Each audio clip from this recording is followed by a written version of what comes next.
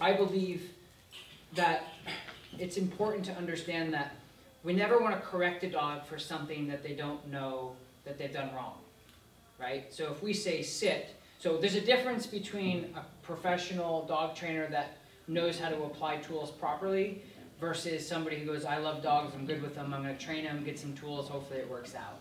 Because that's how you can do damage, and that's where you see the horror stories of the videos online of dogs not responding good to e-collars and prong collars because they're just sized wrong, they're the wrong equipment, they're all garbage, you know, chintzy things.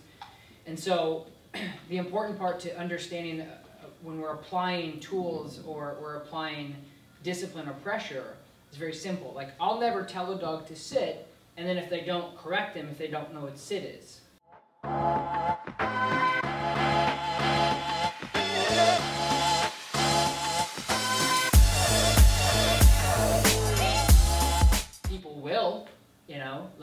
People out there that do it that make people like myself who do it right look like bad people because they associate he uses a prong collar, they use a prong collar, bad dog training or painful or stressful.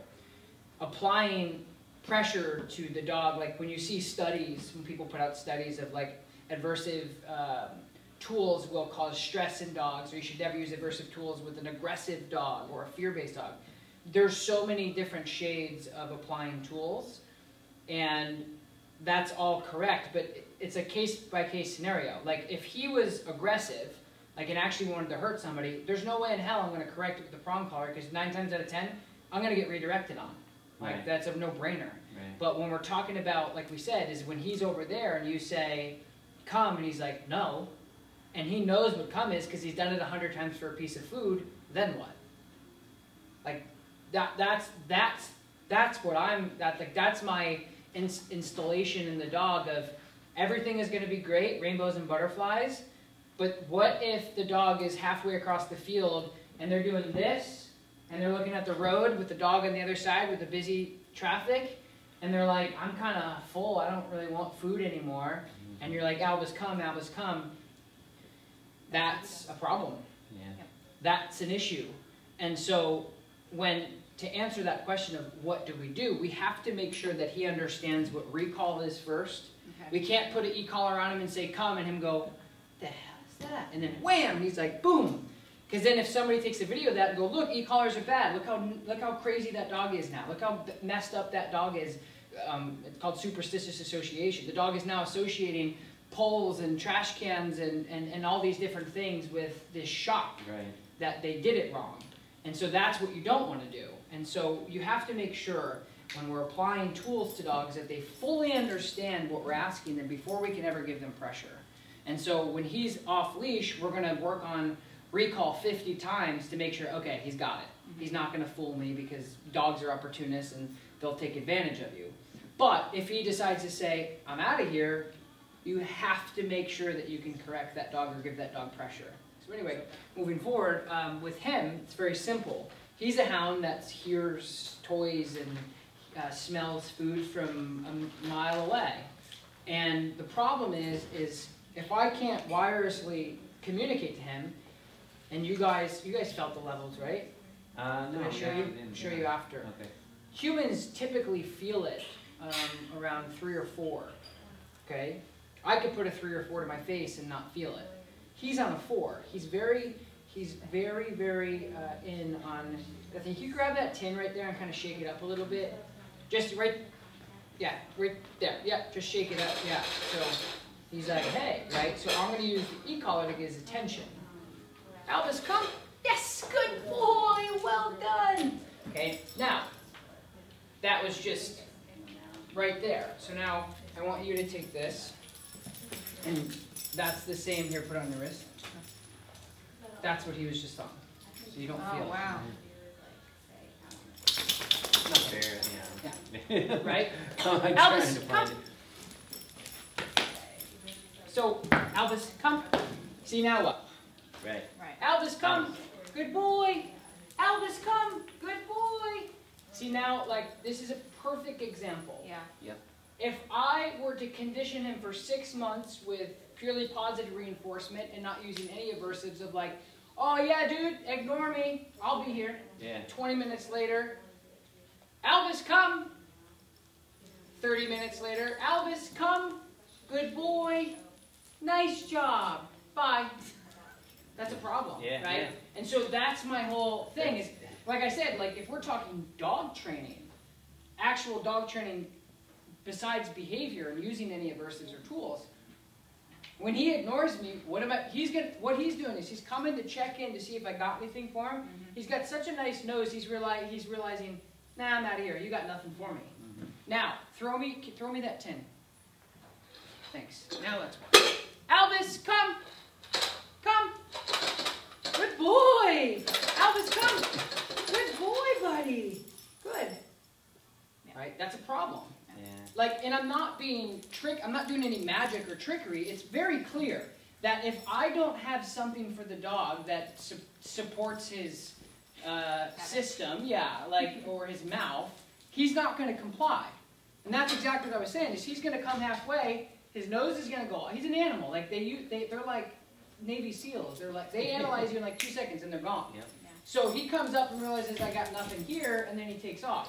And then and this is testing. If I'm like, oh, Elvis, come, he's gonna come running and go, oh, cool, you got something for me. I'll come to you, right? So I'm a dog owner way before a trainer.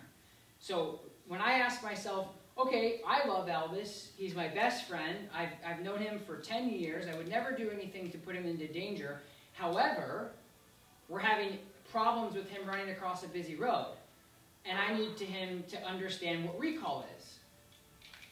He's telling me, I know what it is, but if you don't have anything in it for me, then I'm out of here, Mhm. right? So then what do I say? Huh, all right, so one, I could keep food on me all the time and bribe him with bags of food. Like there's a difference between a dog understanding like I'm gonna come to you because you told me and maybe I maybe I'll get food, maybe I won't. That's like great. Yeah. But there, I think there's also a significant difference when you're doing what I just did. I'm like, come here, buddy, yay! And I'm doing everything I can to get the dog to me. Like, will he come? Great, awesome. And if you did that every time, you're 100%, great, awesome. What if you don't have it? Yeah. You're screwed. Yeah, we don't have anything hundred percent. That's what I'm, that's, that's my point. And in the dog training world, there's a lot of people on one side of the street going, don't correct dogs, it's abuse, it's terrible for them, it's gonna really screw them up. And I'm like, my dog just like told me to screw off like 15 times. Like, what am I gonna do? Yeah. Then you can say, spend six months, really make the dog understand recall. But I'm like, I got five hours with my clients to, to make sure that their dog can do something. And can we do it fast? Absolutely. Let's expedite this stuff. And the biggest difference is, is what are you going to do about it when the dog does decide to go, boom, right? Because that we just very clearly stated and showed in real time that he doesn't do anything for me currently if there's food involved. And mm-hmm. so that doesn't build our relationship. That makes me just me a Pez dispenser. Oh. The big underlying factor about why I think it's important as dog owners and, and as a responsibility to get the dog off leash. If we're going to say, okay, I have an animal with four legs, especially with a hound. I mean, this dog can smell what's cooking in my neighbor's yard Yes. right?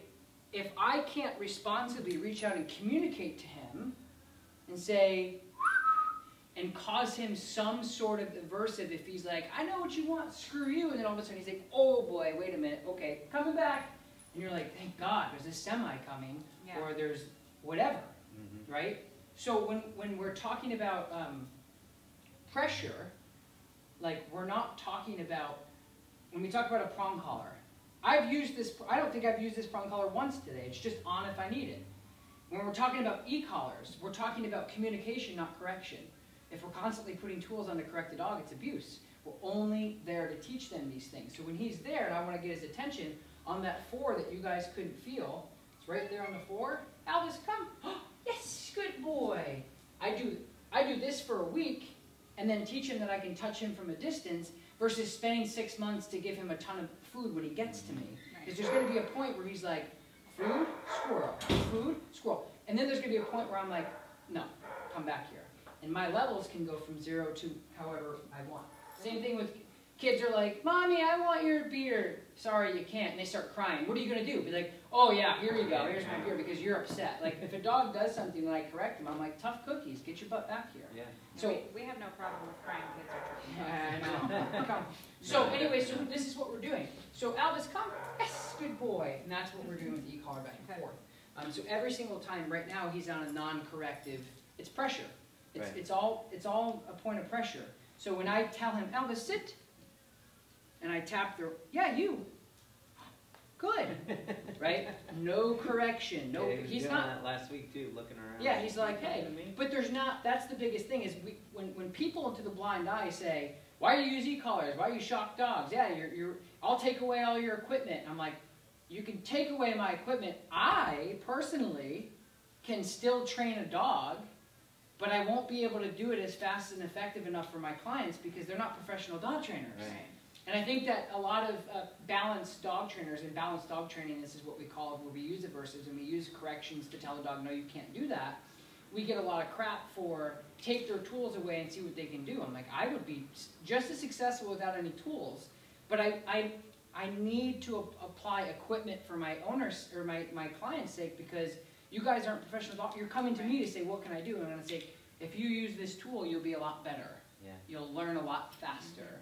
Your dog will stop choking themselves out. Your dog will recall on command instead of taking their sweet ass time. So there are like tho- those one-dimensional sided people, and um, I think that the way that I explain things has to make sense to my clients. So when they go out, people aren't like, "Why are you spiking your dog? Why are you shocking your dog?" And you're like, "What are you talking about?" I wouldn't do any of that. So that's why I give so much information about the tools. But like I said, um, it's very easy to, to, to sit there and go, oh, you need tools to work. But then like when I go, we, we did a we did a podcast with Brother Christopher at the Monks of New Skete, and he said it very easily and, and, and actually pretty hysterical. He said, you know, when people tell me that I need tools to work, I don't complain when I go into the dentist's office and they give me Novocaine. Could they do the job? Sure, but is it going to be bad? You know, at the end of the day, of course. Could I drive my car without power steering? Sure, but is it going to be beneficial and effective? Probably not. Is it going to be safe? I don't know. Right? So when we're talking about tools, it's just important to understand that they're not something that we depend on. It's something that helps and expedites my client's progress like that. Because it's like a professional rodeo or a bare, bare, bareback rider being like, yeah, I can do all this stuff. And then you throw Joe Schmo on it that's never done it before. They need equipment to handle these animals. And, Yeah, and so anyway, when you go out and you use these type of equipment, you guys probably won't ever run into it, but it happens. People are bizarre. Anyway, you know, if I took your tools away, you wouldn't be able to do anything. I'm like, that's not true. I have millions of videos out there that I don't even touch my dogs with tools. But they're, they're my dogs, like they're, Yeah. I train them, I can do that, but ninety-five percent of my clients that are coming in here to pay me to learn how to be better with their dog aren't gonna be able to do it that quick. right, If I give them a tool and they're like, they're expedited, like, right. it's just the same thing, it's like, oh, you guys wanna go to California? Okay, well, get to walking, I'm gonna take a plane. Why? Cause it gets me there faster. Right, But there's, there's a lot of people who don't understand that, they're like, no, no, no, no, there's other ways to do it. I'm like, sure, but it's gonna take you a year, and you're gonna be sore, and it's, it's not as fast, and you have a meeting to catch tomorrow, good luck. I'm gonna take a plane, I'll see you there in a week, right? So there's, there's a lot of different ways to get to the different places that we need to go. I think the important part is in understanding the, the idea of getting there properly and getting there humanely and getting there to, to way that the dog understands are significant, like, im- importance in the process to make sure that we're not just putting equipment on a dog and going, look what I can do. It's not that at all, it's just to get you guys there faster.